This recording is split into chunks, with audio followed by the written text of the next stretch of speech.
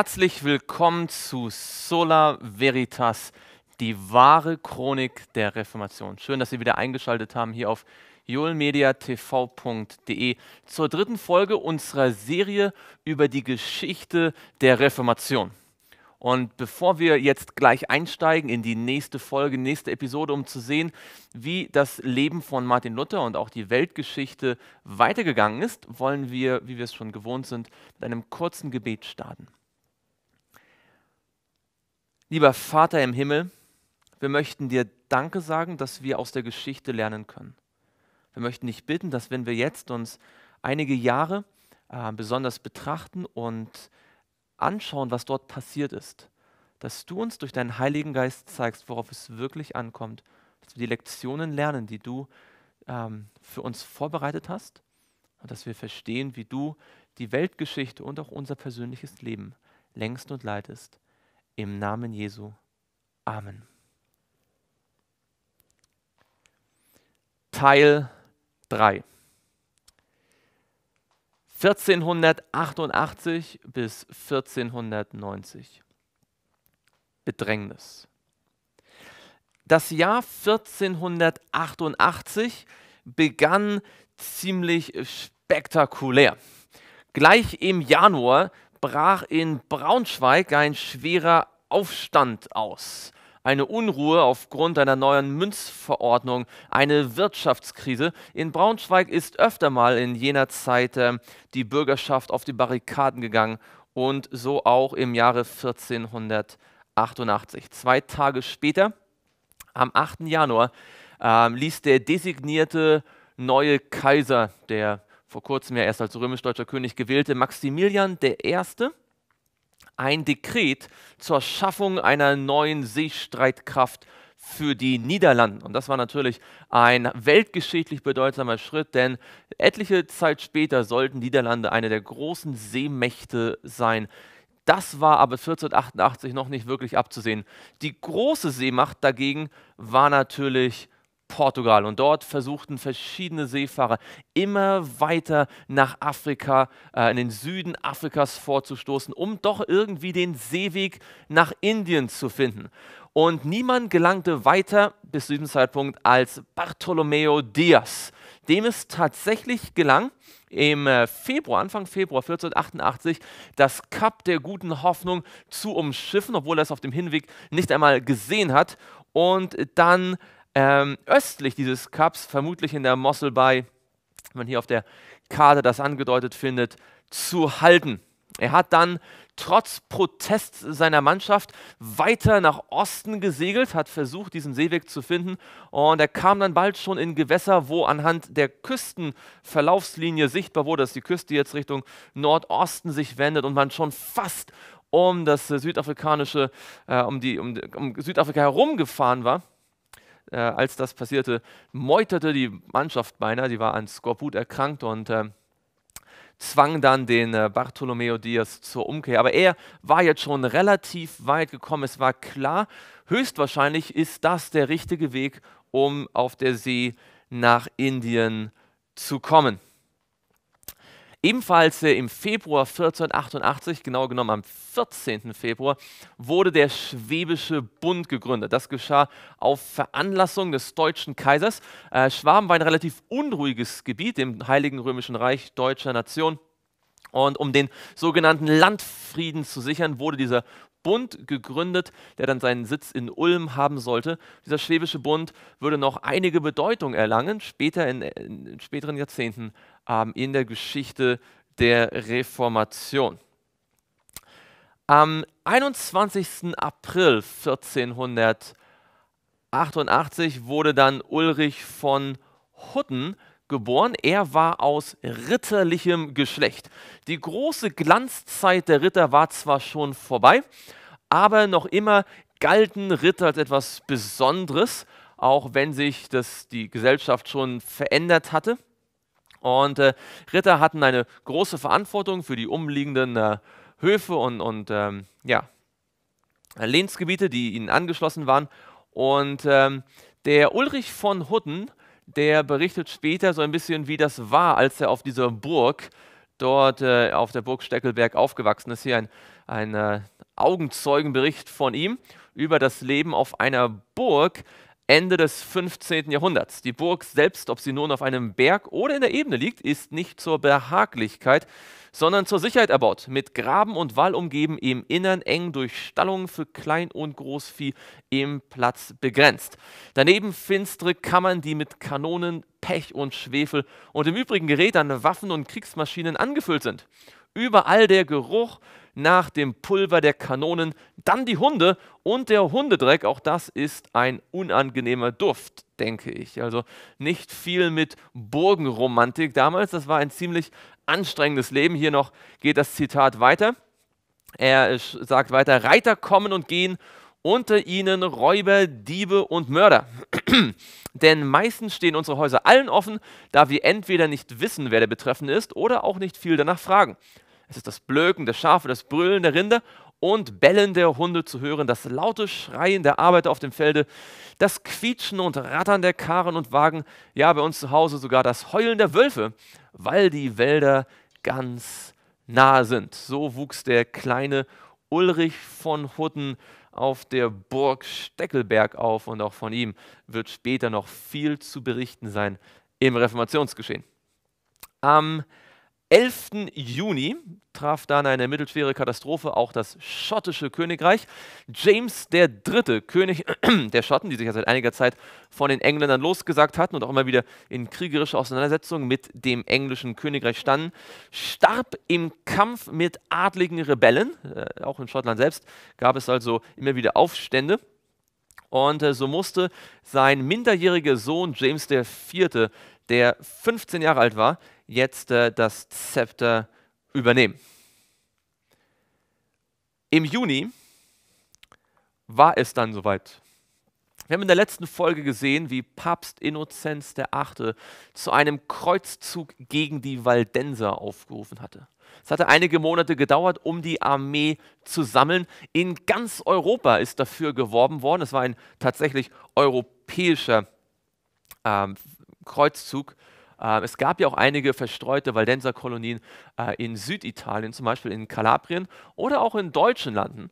Und äh, der Kreuzzug richtete sich nicht allein gegen die berühmten Waldensertäler in den Kottischen Alpen in Piemont, sondern gegen die Waldenser als solche. Trotzdem war natürlich das äh, Gebiet im, äh, im, Herzogtum von Savoyen das, äh, das der Kern, das Kernangriffsgebiet und es hatte sich eine Armee von sage und schreibe 18.000 Soldaten zusammengefunden. Das sind die regulären Soldaten. Zu denen gesellten sich noch einmal eine ganze Reihe von Banditen, Abenteurern, Mördern, ähm, eigentlich eine, aus den untersten Gesellschaftsschichten, Menschen, die aufgrund der Aussicht auf Beute und den Ablass aller Sünden äh, angelockt worden waren. Und äh, das war natürlich dann eine äußerste dramatische Verknüpfung, diese regulären Truppen plus diese äh, Meuchelmörder.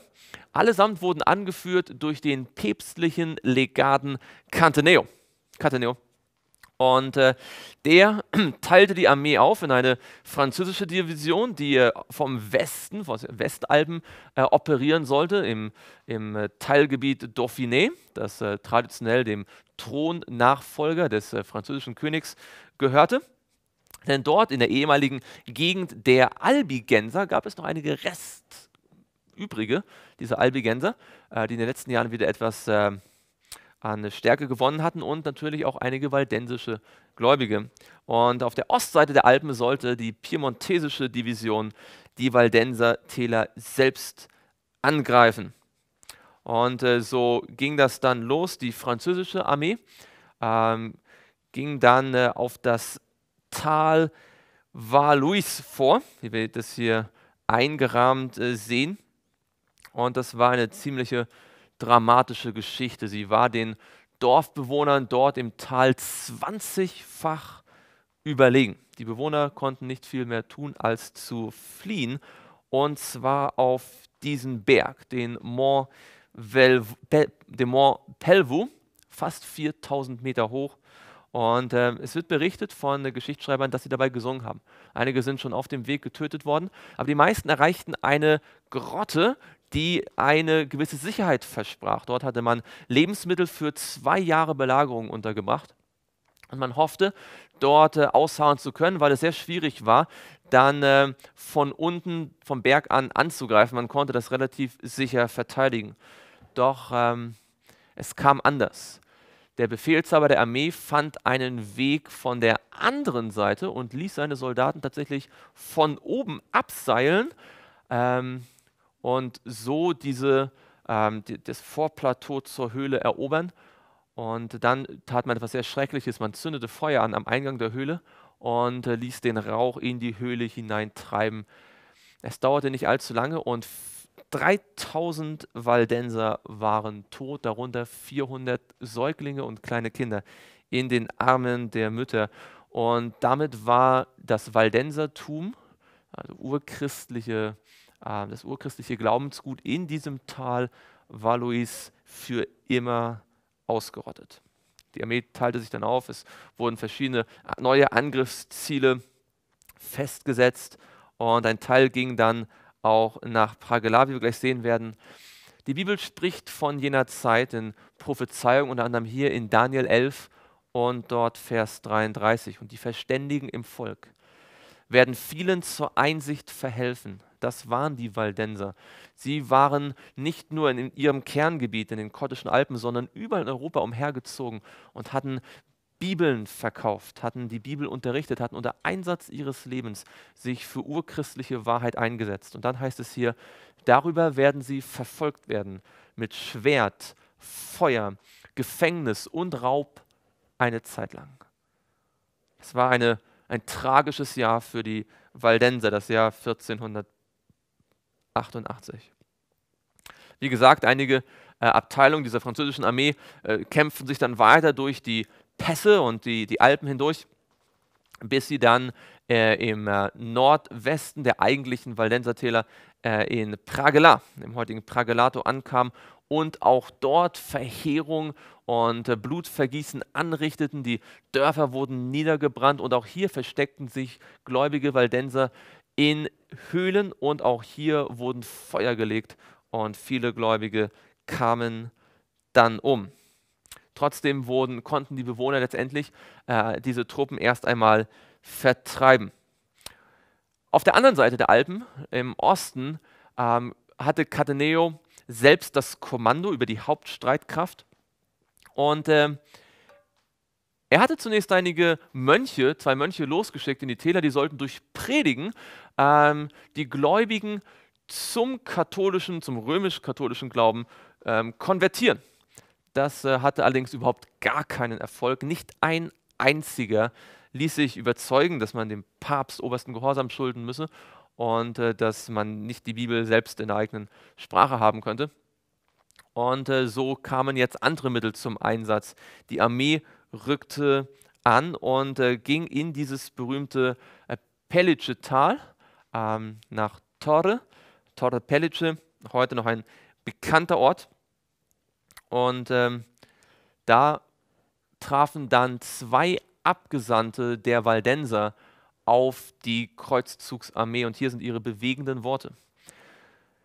Verurteilt uns nicht, ohne uns zu hören, denn wir sind Christen und treue Untertanen und unsere Barben, das sind die wörtlich die Onkel, das sind die Prediger gewesen, die in der Barbenschule ausgebildet worden waren. Unsere Barben sind bereit, privat oder öffentlich zu beweisen, dass unsere Lehren mit dem Wort Gottes übereinstimmen. Unsere Hoffnung auf Gott ist größer als unser Verlangen, Menschen zu gefallen. Hütet euch davor, seinen Zorn auf euch zu ziehen, weil ihr uns verfolgt. Denn gedenkt daran, wenn Gott es will, dann werden alle Streitkräfte, die ihr gegen uns versammelt habt, nichts ausrichten eindrückliche Worte, die aber zunächst einmal keinen Eindruck machten auf Cataneo, den Legaten. Und äh, so mussten die Waldenser fliehen und zogen sich in die äh, engeren Täler, die, die Bergfesten zurück. Die Armee teilte sich auf. Ein Teil zog geradezu westlich in das Tal hinein nach äh, Bobbio. Und äh, dort war ebenfalls nichts mehr zu finden, außer einigen zurückgelassenen, vielleicht äh, Kranken oder Bettlägerinnen. Äh, die man vernichtete und dann steckte man die Häuser in Flammen. Ähm, das Ziel war jetzt in einer großen Umfassungsoperation ähm, auf der anderen Seite der Berge ähm, die Täler zu erreichen, die dann wieder zurück nach Pinerolo finden, äh, gehen würden. Und dazu musste man einen großen Alpenpass überqueren. 700 Soldaten wurden auserwählt, das zu tun. Und hier auf dieser topografischen Karte sieht man diesen Weg, den sie gehen mussten. Eine ziemlich alpine äh, Überquerung dieses Passes bei äh, Col Julien. Und ähm, die Geschichte zeigt uns, dass als sie dann diesen Pass überschritten haben und in das erstgelegene Dorf im anderen Tal ankommen, trafen sie zur Überraschung auf wehrhafte Waldenser, die es äußerst äh, ja, schlecht aufgenommen hatten, dass man sie einfach so überfallen wollte. Und sie kämpften mit einfachen Mitteln, aber mit dem Mut der Verzweiflung und Überzeugung, dass sie nichts Böses getan hatten.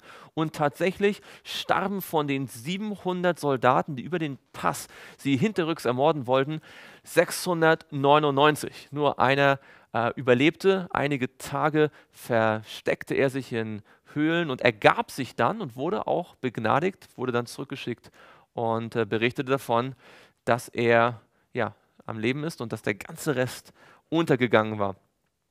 Die Hauptarmee, also hier sehen wir noch den, ähm, den Pass, über den sie hinübergeklettert sind und dann äh, völlig erschöpft den Waldensern zum Opfer fielen. Die Hauptstreitmacht allerdings war relativ schnell nach der Eroberung von Torre nach äh, Norden abgebogen in das berühmte Agronjatal. Denn dort der, am Ende des Agronjatales befand sich die wichtigste Festung der Waldenser. Jeder, der vielleicht schon mal da gewesen ist, kennt dieses Tal, ist eines der berühmtesten Täler überhaupt.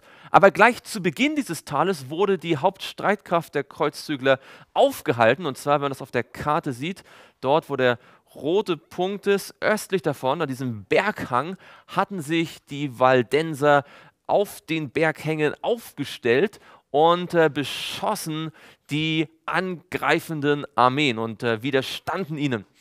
Und ähm, Sie wurden selbst heftig attackiert durch Bogenschützen. Es sah fast so aus, als würden sie verlieren. Und der Geschichtsschreiber berichtet uns, dass in diesem Moment die Frauen und die Älteren in sicherer Entfernung niederknieten und Gott um Hilfe baten und äh, an diesem Tag die waldensische Linie nicht überwunden werden konnte. Ein besonders großer, starker Soldat in der päpstlichen Armee hatte sein Visier hochgenommen und hatte wie einst Goliath in der Geschichte mit dem kleinen David geflucht nur um dann einen Pfeil direkt in sein Gesicht zu bekommen, der seinen, seinen Schädel spaltete. Einige Zeit später unternahm die Kreuzungsarmee einen weiteren Versuch und drang jetzt viel tiefer in das äh, Angronia-Tal vor. Die Valdenser hatten sich zurückgezogen in ihre Festung Pradel Torno.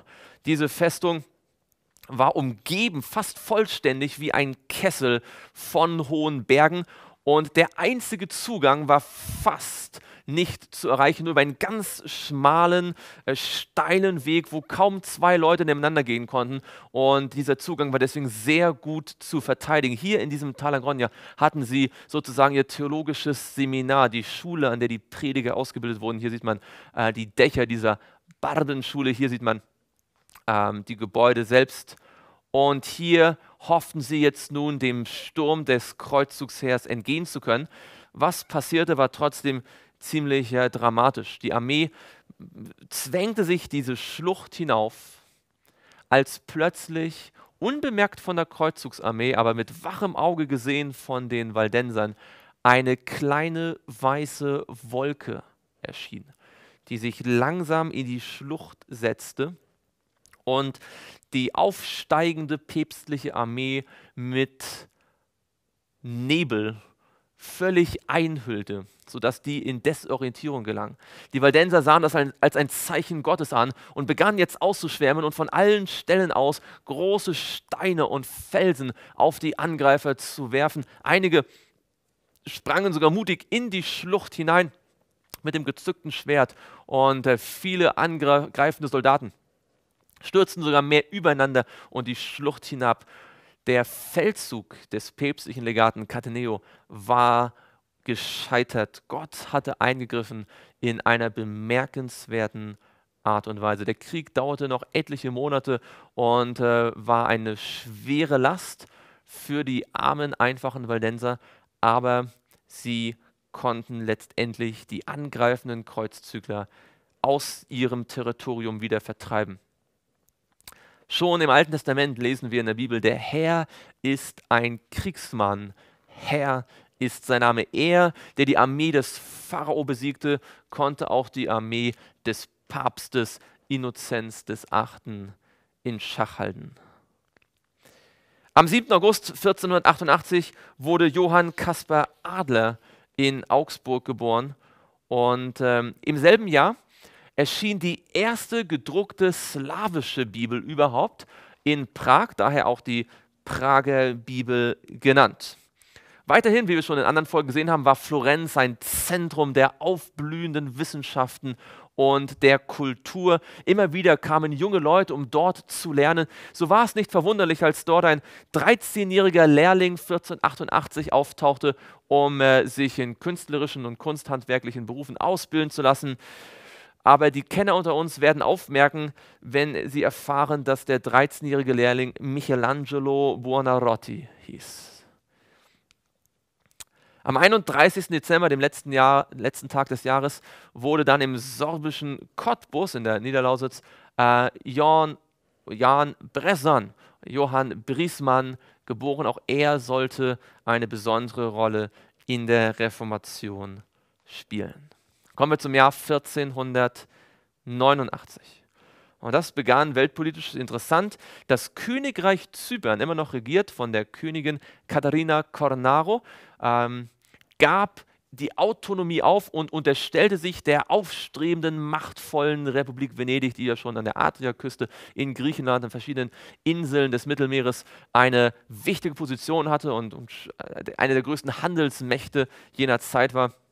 Und äh, sie verzichtete auch äh, damit auf äh, bestimmte Thronansprüche in Jerusalem und in Armenien. Und das stärkte diese, diese wirklich wichtige Republik Venedig. Im Mai 1489 wurde Urban Rieger in Langenargen am Bodensee in der Grafschaft Montfort geboren. Er war der Sohn eines Priesters. Und auch das ist natürlich eine interessante Sache. Die Priester hatten es mit dem Zölibat oft nicht allzu genau genommen. Und das war hier keine Einzelheit.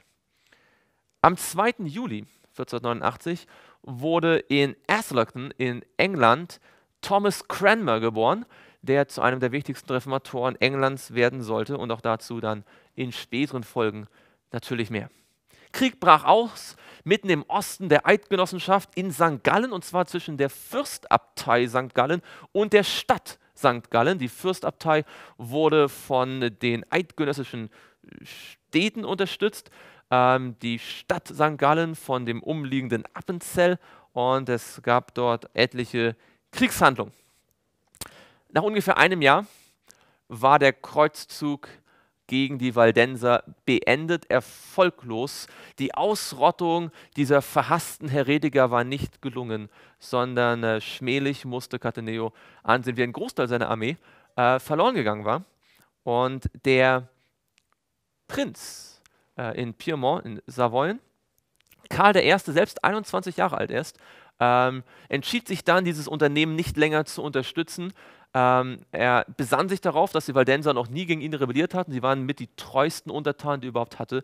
Und er versprach ihnen eine Delegation von zwölf ähm, Waldensern anzuhören. Die kamen dann und erklärten ihren Glauben. Und Karl I. war erstaunt, dass er sich überhaupt hatte dazu hinreißen lassen, diesen Kreuzzug zu unterstützen.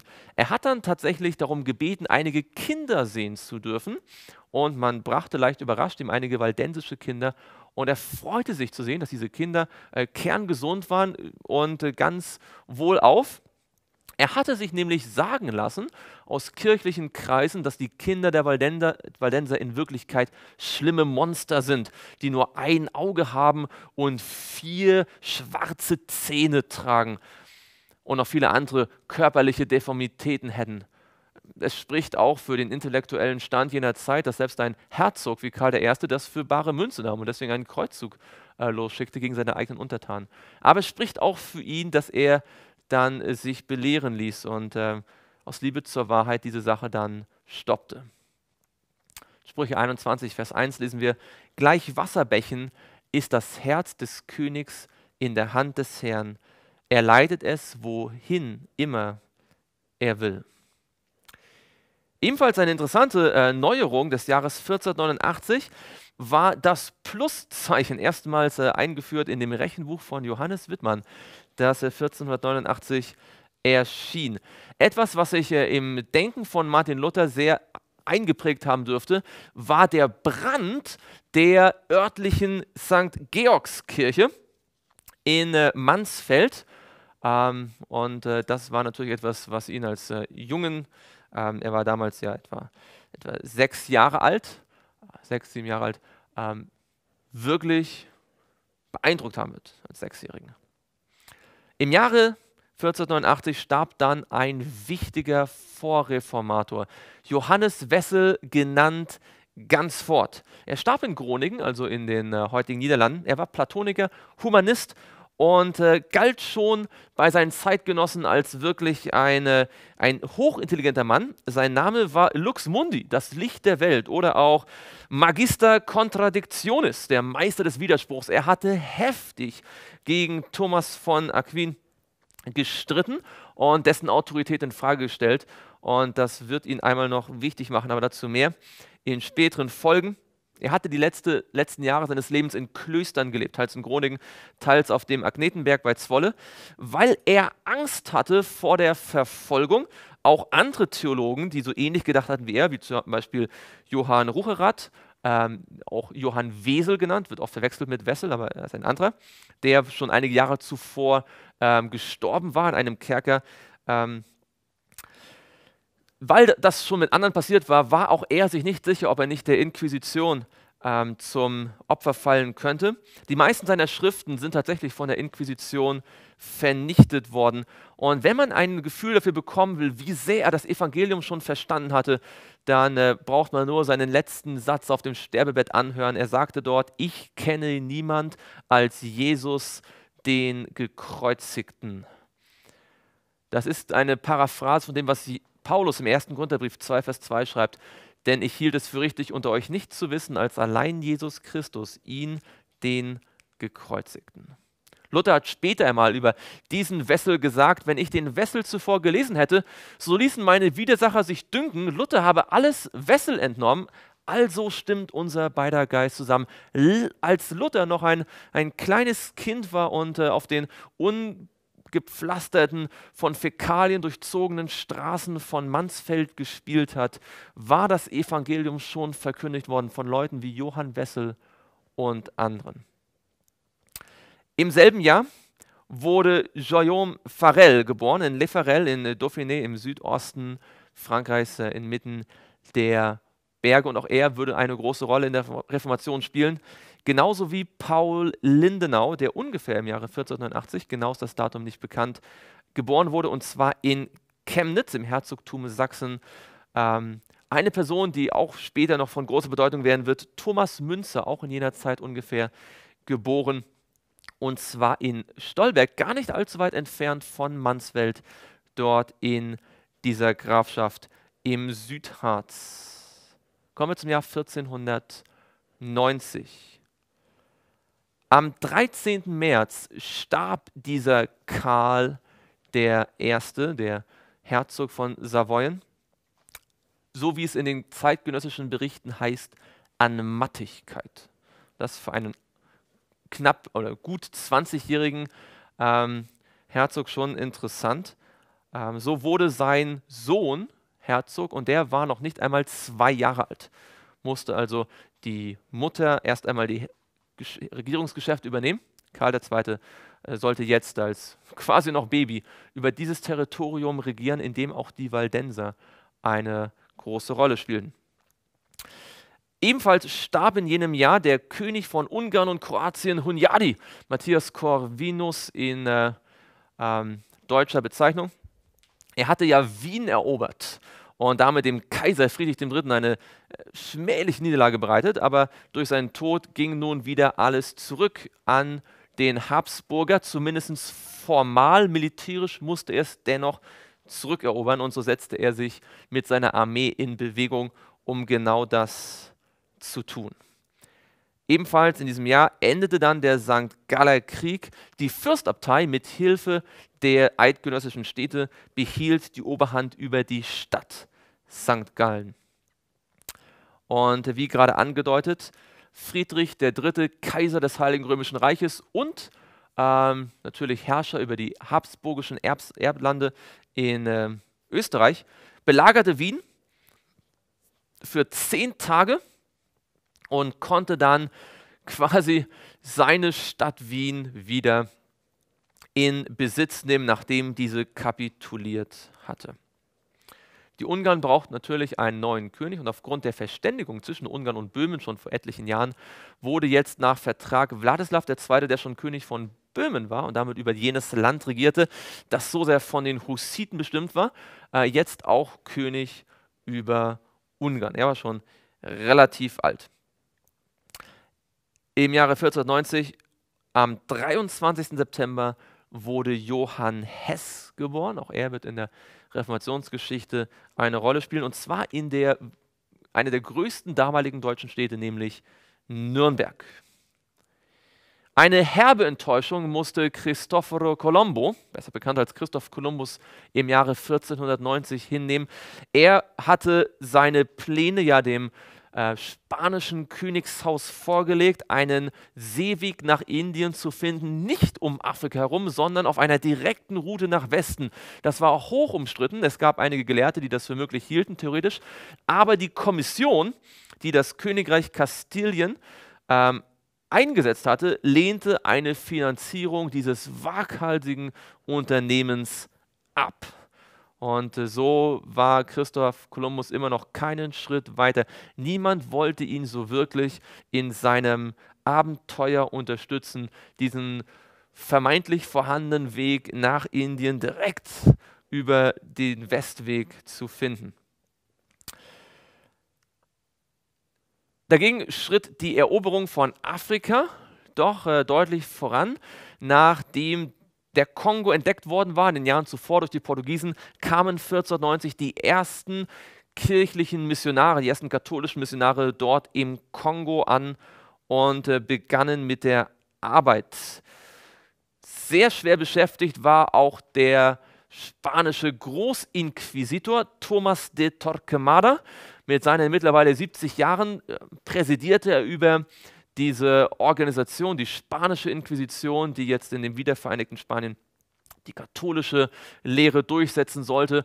Man jagte die Juden, man jagte vor allem auch die sogenannten Mauren, die Mohren, die ähm, Moslems und äh, man jagte vor allem diejenigen, die formal sich dem Christentum unterworfen hatten, aber doch insgeheim ihre alte Religion weiter praktizierten. Und im Jahre 1490 ließ besagter Thomas de Torquemada etliche hebräische Bibeln und sage und schreibe 6000 Bücher in Salamanca äh, im Westen Spaniens in einem Autotave verbrennen.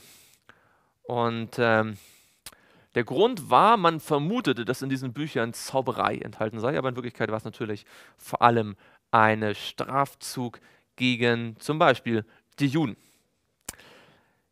In Florenz dagegen bekam der Prediger Savonarola, Savonarola immer mehr Zulauf. Mittlerweile hörten gewaltige Menschenmengen seinen feurigen Predigten zu. Er hatte sich immer weiter auch in die Prophetie hineingearbeitet und es war schon bald klar, dass er einen Einfluss ausüben würde auf diese Gesellschaft, gerade in Florenz, wo so viel Weltoffenheit und so viel Humanismus eigentlich sonst die Kultur prägte. Ähm, und es war abzuwarten, was aus dieser Bewegung werden würde. Pero da Corvilla, der portugiesische Entdecker, der sich aufgemacht hatte, dieses sagenhafte Reich des Priesterkönigs Johannes zu suchen, wir hatten ja davon in der letzten Folge schon gesprochen, traf dann im äh, Verlauf dieses Jahres 1490 in Äthiopien ein. Es war nicht der erste Europäer, der dort ähm, im, im Spätmittelalter aufkreuzte.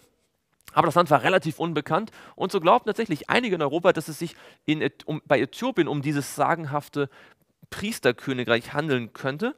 Und ähm, man begann erste Verbindungen mit dem Negus, dem äh, Kaiser von Äthiopien, dort aufzunehmen.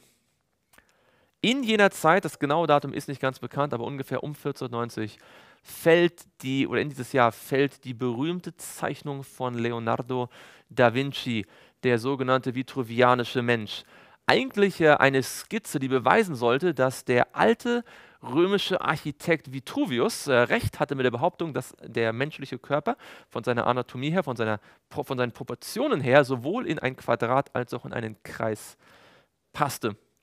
Und äh, der Da Vinci hatte noch viele andere Dinge, die er in dieser Zeit tat. Er beobachtete die Kapillaraktivität, er fand eine neuartige Öllampe. Er war eines dieser ganz großen Universalgenies, die diese Zeit ganz intensiv prägten.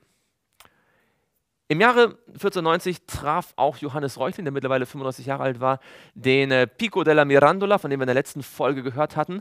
Die Humanisten hatten einen engen und intensiven Austausch. Sie standen sich ja oft äh, gewaltigem Widerstand in der Kirche und auch weiten Teilen der Gesellschaft gegenüber. Und so war es wichtig, dass sie sich austauschten und neue Ideen, Bücher, äh, Literatur, Philosophie miteinander teilten.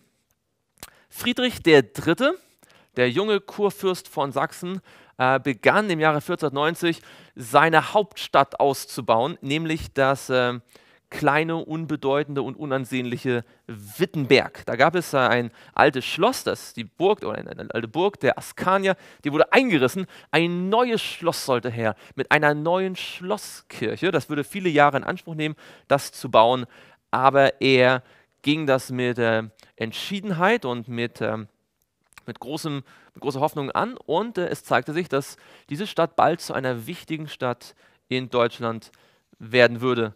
Dieses kleine Wittenberg, die Hauptresidenz von Friedrich III. war zwar Torgau, aber Wittenberg war die tatsächliche Hauptstadt.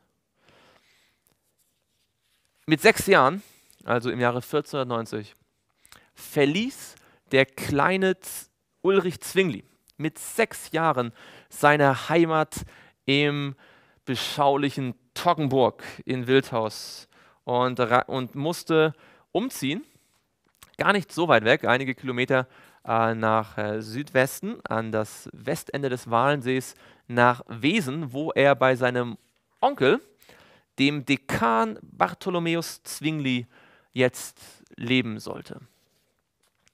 Noch ein Ereignis von weitreichender Bedeutung fand 1490 statt, nämlich ein sächsischer Adliger mit Namen Johann von Staupitz, 25 Jahre alt damals, entschied sich zu einem Schritt, den viele damals gingen, weil sie dadurch hofften, heilig, selig zu werden und äh, in den Himmel zu kommen. Er ging in ein Kloster. Er war zwar aus Sachsen, aber er ging in ein in München trat er ins Kloster ein, und zwar in das Kloster der Augustiner-Eremiten. Das war einer der vier großen Bettelmönchsorden des äh, Spätmittelalters neben den Karmeliten, den äh, Franziskanern und den Dominikanern.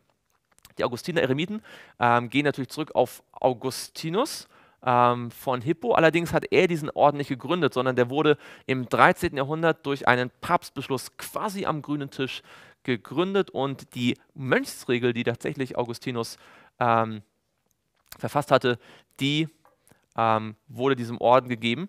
Und innerhalb dieses Ordens gab es äh, verschiedene Kräfte. Da gab es einige, die es mit der, und zwar die Mehrheit, mit der Ordensregel des Augustinus nicht mehr so ernst nahmen. Und das war allgemein bei den Bettelmönchen der Fall. Man hatte sich mehr auf das, äh, auf die, das schöne Leben ähm, konzentriert als auf die genaue Einhaltung von Regeln. Aber Staupitz und andere gehörten zu einem Flügel innerhalb dieses Ordens, die es genauer und ernsthafter mit der Ordensregel nehmen wollten. Man nannte sie auch die observanten Augustiner Eremiten und diesen Begriff werden wir öfter hören und der wird uns noch wieder vorkommen. Eine Kleinigkeit, die die Welt durchaus verändern konnte, war im Jahre 1490 die Erfindung des Kommas. Aldus Manutius war einer der berühmtesten äh, Verleger seiner Zeit. Er begann in diesem Jahr mit einer Druckerei in Venedig, die zu einer der wichtigsten Druckereien des Humanismus werden sollte. Er setzte sich dafür ein, wichtige Werke der Antike im handlichen, günstigen Buchformat auf den Markt zu bringen. Und er war der Erste, der systematisch Punkte verwendete, um äh, Sätze zu beenden und auch Kommata, äh, denen er dann die heutige Form gab. Bleibt noch zu berichten davon, dass auch in jenem Jahr Kaspar Schwenkfeld von Ossig im äh, heutigen Polen im Herzogtum Liegnitz geboren wurde.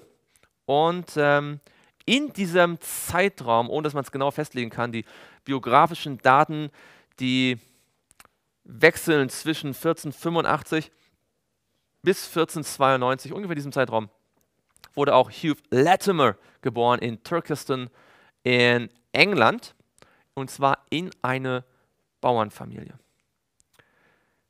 Von all dem hat vermutlich der kleine Martin Luther nicht allzu viel mitbekommen, abgesehen von dem äh, schweren Brand in der Georgskirche. Er wuchs ganz bescheiden auf dort in seiner armen Familie. Ähm, er wird sicherlich immer wieder mal auf die reiche Burg geschaut haben, der Mansfelder Grafen, die nur auf der anderen Seite des Tales lag. Ähm, vielleicht ist er schon 1490 in die Schule gekommen, vielleicht auch erst 1491 ähm, je nachdem, wann er geboren worden ist. Wir haben ja über diese Unsicherheit gesprochen. Wir werden in der nächsten Folge auf jeden Fall dann berichten, wie es ihm in der Schule ergangen ist, was er dort erlebt hat. Und es wird sehr, sehr spannend werden. Die nächste Folge wird dann heißen Zeitalter der Entdeckungen. Wir werden die Jahre 1491 bis 1493 betrachten. Und bis dahin wünschen wir Ihnen Gottes Segen und ähm, viel Freude im Studium der Geschichte und wir hoffen, dass wir uns dann in einer Woche hier wiedersehen können.